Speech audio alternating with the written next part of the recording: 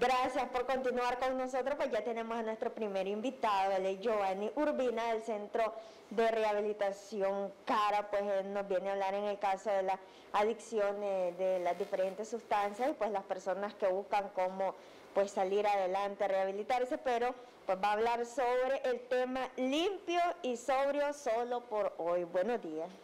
Muy buenos días, gracias siempre por la oportunidad de compartir con la, con la audiencia, de la audiencia de, este canal y poder traer este, estos temas siempre relacionados con, el, con, con las adicciones. Y sí, tomamos este tema limpio y sobrio solo por hoy, eh, de hecho, Una frase bien común, ¿verdad? ¿Perdón? Una frase bien común. Exactamente. definitivamente en el programa de Alcohólicos Anónimos siempre se usa este, este término solo por hoy. Y es porque la recuperación no es fácil. O sea, la, recuperación, eh, cuando se tiene la enfermedad de la adicción, es un proceso bastante largo y requiere bastante paciencia y eh, persistir o sea, perseverancia en el, en el, en el proceso. Eh, la, recuperación tarda bastante y la enfermedad es crónica, así que eh, poder dividir este proceso en, en pequeños periodos como el hoy. En Alcohólicos Anónimos siempre se usa el término solo por hoy, ah, porque no es lo mismo pensar que tengo que pasar limpio toda mi vida. Imaginémonos pensar eh, con algo que tal vez ha sido un desafío grande para mí toda la vida, eh, poder mantenerme limpio y ahora me tienen que me dicen que tengo que mantenerme limpio toda mi vida. O cuando escucho a alguien que tiene 50 años sin consumir alcohol o sin consumir drogas o sin tener algún comportamiento adictivo, entonces puede ser muy una carga muy grande eh, el, pensar que yo también tengo que, pasar tanto tiempo limpio, pero el, acá el lema es solo por hoy porque la clave está en poder eh, ponerme metas pequeñas. Si por hoy lo puedo lograr, hoy, cada día, solo por hoy, cada día. Ese es uno de los objetivos básicos en este, en este proceso para poder dividir en pequeños eh, periodos una meta que es grande y que es para toda la vida. Y me imagino que es difícil, digamos, para la persona pues que está pasando por algún proceso de adicción y pues a como decir,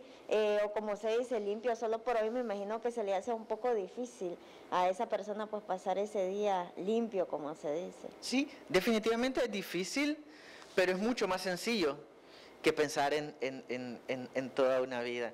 Eh, siempre decimos, eh, esta experiencia nosotros siempre la tenemos en el, en el, en el tratamiento, en el proceso de los pacientes, cuando se les dice, se, cuando ellos llegan con una gran carga, a veces la ansiedad de decir, ¿será que lo voy a lograr? ¿Y cómo voy a hacer para pasar mi cumpleaños limpio? ¿Y cómo voy a hacer? ¿Y si mi mamá fallece? ¿Y si pierdo el trabajo? ¿Y si mi esposa se, me abandona? O sea, hay mucha ansiedad. Generalmente la persona que ha consumido, la persona adicta, eh, ha utilizado la sustancia eh, patológicamente, de una forma enferma, para, para manejar, entre comillas, todas las situaciones difíciles e incluso para celebrar todos los eventos en su vida. Así que pensar en que, ¿cómo voy a hacer esta Navidad? ¿Y cómo voy a celebrarla? Y me voy a sentir triste. Entonces, ese tipo de, situaciones es que cargan de mucha ansiedad. Entonces al paciente cuando se le dice, ¿y por hoy crees que lo puedes lograr? Y a veces piensan, ¿y cómo lo voy a lograr en un año? Pero cuando se les dice, ¿y por hoy crees que lo puedes lograr? Para ellos es mucho más sencillo. Dicen, sí, claro, por hoy sí. Entonces esa es la clave. Hacerlo solo por un, solo por hoy. Limpio y sobrio. Limpio eh, nosotros sabemos que muchas de las personas que llegan al, tratamiento eh, hace tiempo que no pasan un día limpio, otros hace tiempo que no pasan una semana limpio o un mes, y que ellos puedan eh, reconocer cada día, cada 24 horas o cada semana, cada mes, y tener ese, ese reforzamiento y ese reconocimiento de que, de que sí lo están logrando, que van logrando pequeñas metas, ver hacia atrás y ver desde dónde vienen no todo lo que tienen que recorrer por delante todavía. Es reconfortante. Ahora, ¿se puede, digamos, lograr por sí solo de la persona o es importante siempre pues tener ayuda de alguien pues para que vaya eh, saliendo adelante y también pues decir, eh, como dice, limpio solo por hoy, pero ese hoy que perdure, que dilate, que no sea solo eh, un día.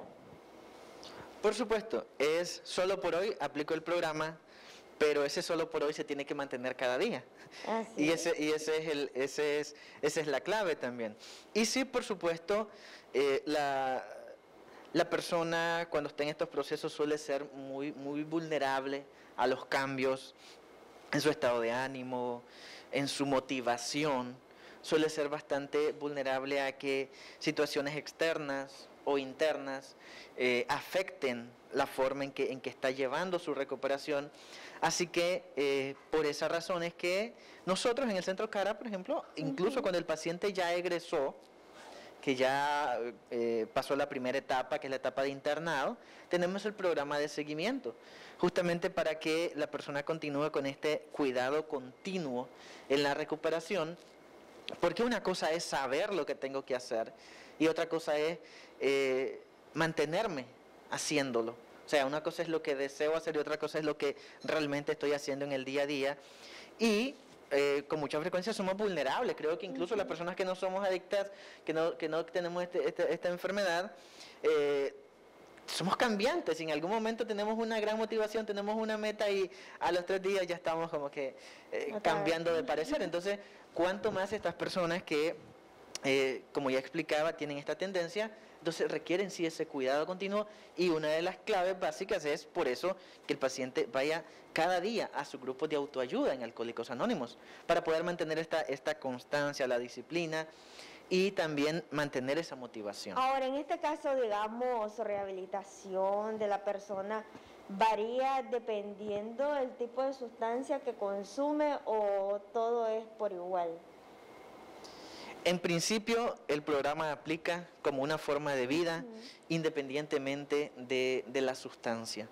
Hay algunas diferencias, por supuesto, en, cuanto al, a los hábitos de consumo, a la sustancia que se consumía, las la mayores diferencias generalmente están en cuanto a, al periodo inicial, la abstinencia, la forma en que se experimenta la abstinencia esos primeros días, ¿no? cuando se suspende el consumo de la sustancia, eh, varía de acuerdo a la sustancia misma, si es el alcohol, si es cualquier otra droga, si son fármacos, incluso el proceso de, desapego y deshabituación de la sustancia, de desintoxicación, también varía.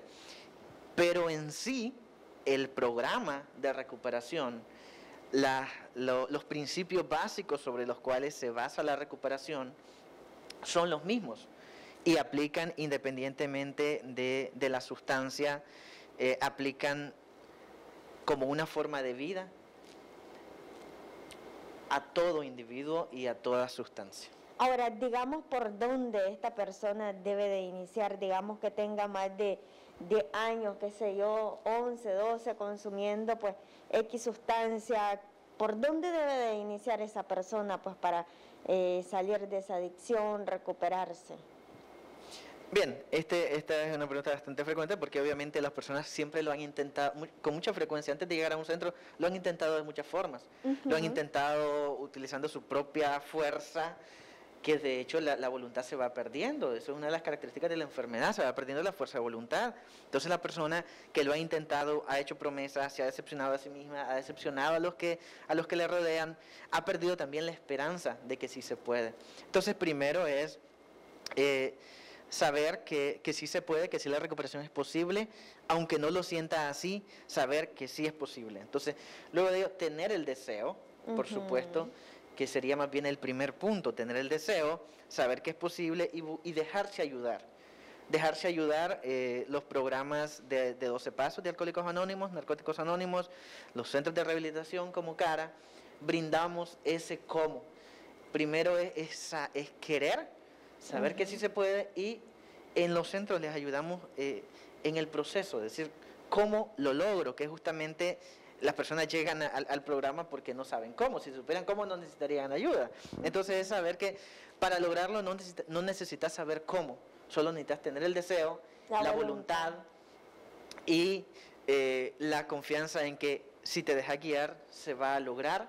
Por supuesto, como pilar fundamental siempre el poder superior eh, que te va a ayudar a través de diferentes medios, tu familia, el centro, el programa de 12 pasos, la iglesia en muchas ocasiones, hay quienes acuden a la iglesia y también apoya bastante cuando va de la mano, por supuesto, del programa y de la ciencia.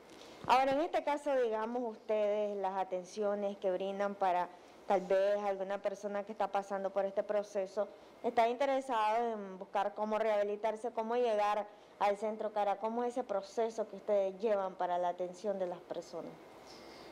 Bien, eh, primer requisito que la persona tenga la voluntad, que llegue, que esté con voluntad, con disposición al cambio, que llega con un tutor, se hace una valoración en enfermería, en psicología para conocer el estado del paciente.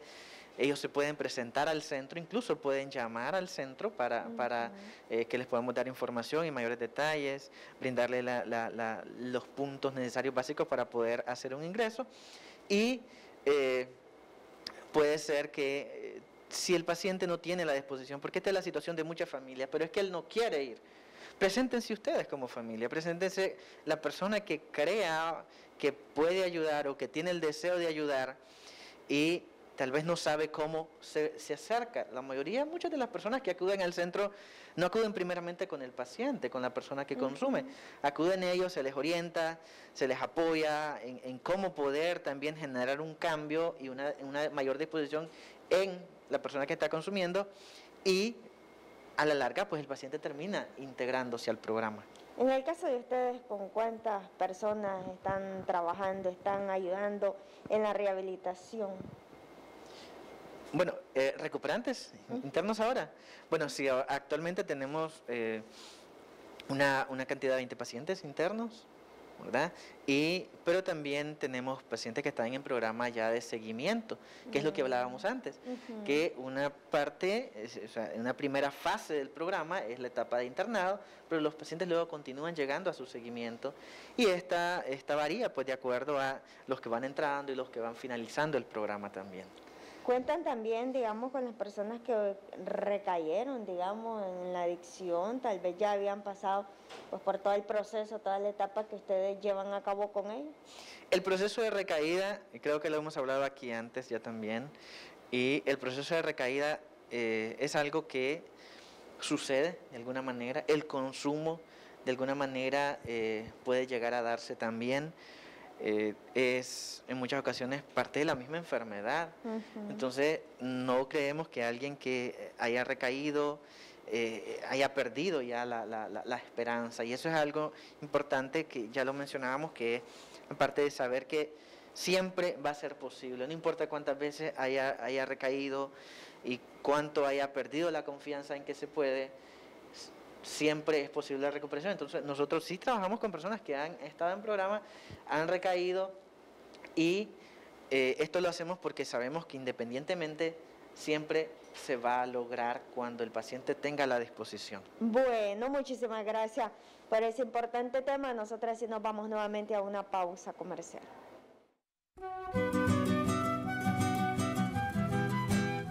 Reconocimientos denuncias, quejas y sugerencias, envíelas a Canal 12, programa Buenos Días Nicaragua, Residencial Bolonia, o llámanos a los teléfonos 2266-0691, 2266-9983, 2266-9984.